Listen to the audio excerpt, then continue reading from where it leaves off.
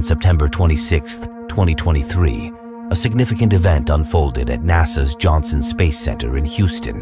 The eagerly awaited moment arrived as NASA unveiled the contents of a space capsule containing the most extensive asteroid sample ever collected during a space mission. This remarkable sample originated from Bennu, an asteroid with the potential to pose a hazard to Earth, effectively serving as a time capsule from the early solar system. As the lid of the sample return canister from the OSIRIS-REx mission was carefully lifted, scientists were met with an unexpected sight that left them both astonished and enthusiastic. The avionics deck of the canister was coated with a layer of dark dust and debris. Even more surprising, the sample weighed 100 grams more than what was initially anticipated, a perplexing development given that the sample had been securely stored in a sealed container throughout its journey.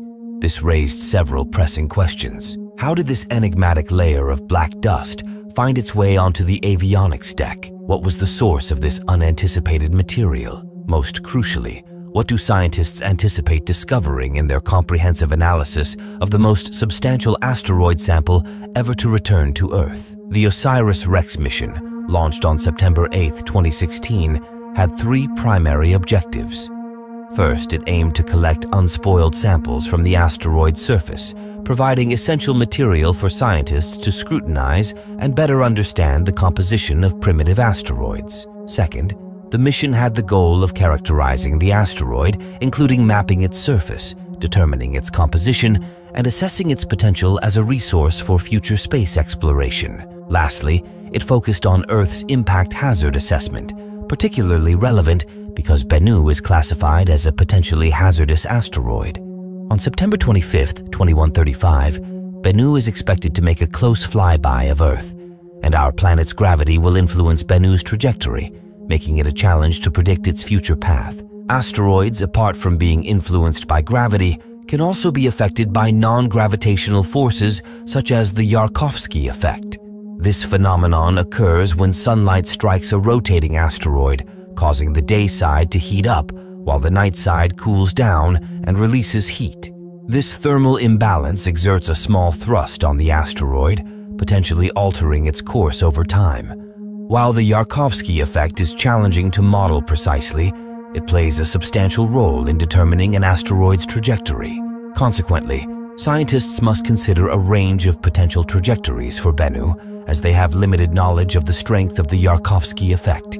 Some of these trajectories align with regions of space called gravitational keyholes. If Bennu were to pass through a keyhole, Earth's gravity could slightly alter its path, potentially leading to an impact on a subsequent orbit in the late 22nd century. The odds of such an occurrence are considered low, but scientists are committed to gathering as much information as possible to enhance our understanding. The journey to Bennu was an epic voyage spanning two years and four months. On December 3, 2018, OSIRIS-REx reached its destination after traveling approximately 1.4 billion miles or 2.2 billion kilometers. Once there, the spacecraft entered orbit around the asteroid, initiating a series of surveys and mapping activities to select the optimal site for sample collection. The pinnacle of the OSIRIS-REx mission unfolded during the sample collection event on October 20, 2020. The spacecraft employed its touch-and-go sample acquisition mechanism, TAGSAM, a robotic arm attached to the spacecraft's main body to collect a sample from the asteroid's surface and place it into the Earth return vehicle. Collecting a sample from Bennu was especially challenging given its small size and near-zero gravity. OSIRIS-REx had just one opportunity, with no room for error. During the brief nine-second contact with Bennu at a location known as Nightingale, a burst of nitrogen gas was utilized to agitate and lift surface material into the sample collection chamber. While the minimum sample size requirement was 60 grams, OSIRIS-REx impressively collected 300 grams, five times more than NASA's initial expectations. However, a hiccup emerged when some material started escaping due to a jammed flap caused by larger rocks. In order to prevent any further loss, NASA made the decision to forego the scheduled measurement of the sample and seal it for the return journey. OSIRIS-REx departed from Bennu on May 10, 2021, embarking on its journey back to Earth. After nearly two and a half years, on September 24, 2023, the spacecraft reached Earth's vicinity and released a capsule containing the asteroid sample. As the capsule entered Earth's atmosphere at a speed of 12 kilometers per second, a parachute was deployed to facilitate a controlled descent. The capsule ultimately landed safely at the Utah Test and Training Range, where it was recovered by NASA personnel. Upon opening the sample return canister at the Johnson Space Center in Houston, scientists were greeted with an intriguing and somewhat unexpected sight. The first thing that caught their attention was a layer of dark powder and sand-sized particles on the avionics deck of the sample canister. It appeared highly likely that this material originated from Bennu, as it not only coated the interior of the canister, but also extended to its exterior, including the avionics deck housing crucial electronics. This raised the pertinent question of how this dust and debris found its way onto the avionics deck in the first place. According to NASA, when OSIRIS-REx briefly made contact with Bennu, it generated a shockwave that propagated across the asteroid's surface, leading to the expulsion of certain materials into space. Some of this material trailed behind OSIRIS-REx as it retreated from Bennu, adhering to the spacecraft's outer surfaces. Additionally, a portion of it entered the sample canister through the open flap, mixing with the material gathered by TAGSAM. The combined mass of the sample, including the dust and debris, amounted to approximately 400 grams, surpassing the requirements for scientific goals. Fortunately, it was reported that the sample remained in excellent condition due to minimal exposure to high temperatures or contamination during the return journey. Nonetheless, the presence of dust and debris on the avionics deck presented a unique challenge. It necessitated careful handling and cleaning by the scientists, who employed specialized tools and techniques. Their goal is to remove the dust and debris from the deck without causing any harm to the electronics or risking the loss of any sample material. Additionally,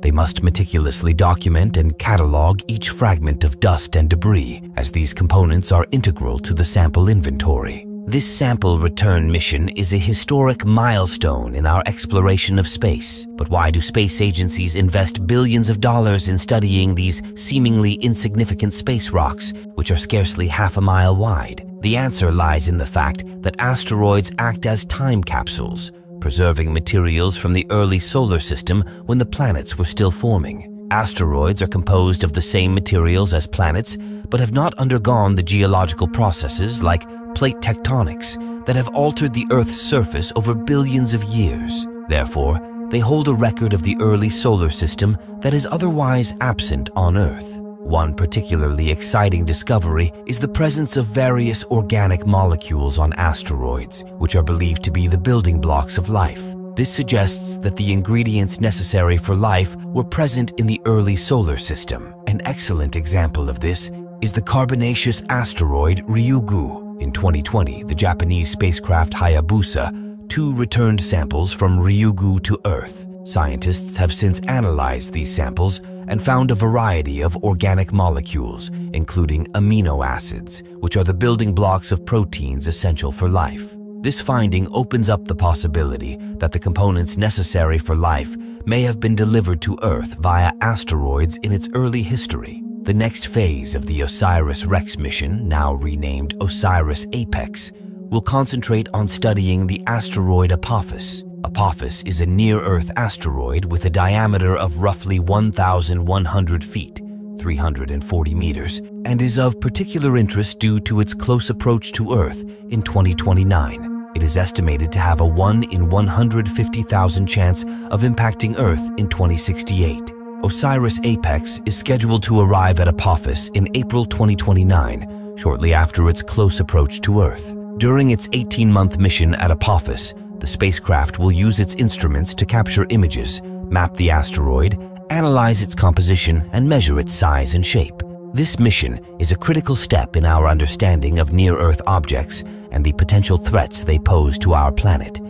The data collected will significantly contribute to our ability to protect Earth from potential asteroid impacts. In recent space exploration news, the James Webb Space Telescope made a groundbreaking discovery regarding Earendel, the most distant single star ever observed. This discovery offers profound insights into the universe's ancient history, as Earendel resides at the edge of time. If you missed the details of this discovery, Be sure to catch up on this fascinating finding